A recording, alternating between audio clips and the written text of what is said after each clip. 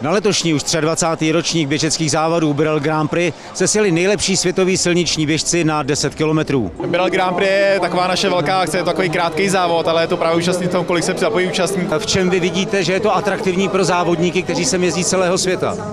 Je to určitě atraktivní vůbec atmosféra Prahy jako takové, to myslím, že není potřeba popisovat panorámata Hračán, ale tím, že ten start je v 6 a potom až půl osmé, tak i ta večerní atmosféra, kde máme speciálně nasvícenou trasu, k tomu kapely na trati, je to vůbec celkově tako, ten koncept toho závodu je tak trochu si to i užít, ale zároveň zaběhnout ty rychlý časy, byť jako třeba loňský rok se tady běžel světový rekord ženský na 10 kilometrů.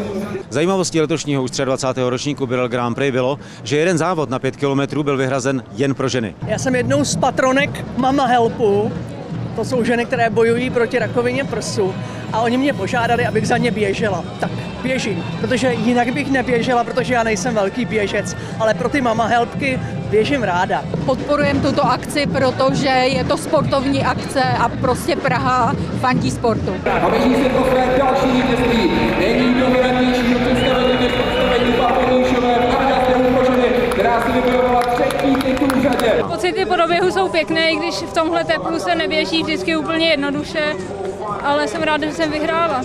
Jak se vám běhá po silnici a po pražských ulicích? No už jsem na to docela zvyklá, bydlím v Praze už 6 let, takže se moc nedá běhat jinde než po asfaltu. Fandíte, jak se vám to líbí? Hrozně moc, je to krásný, příjemná atmosféra, jsem tady nadšená. Dobrý, je, je to dobrý tady.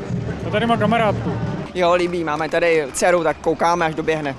Hlavní závod 23. ročníku Birel Grand Prix pak odstartovala primátorka hlavního města Prahy Adriana Krnáčová.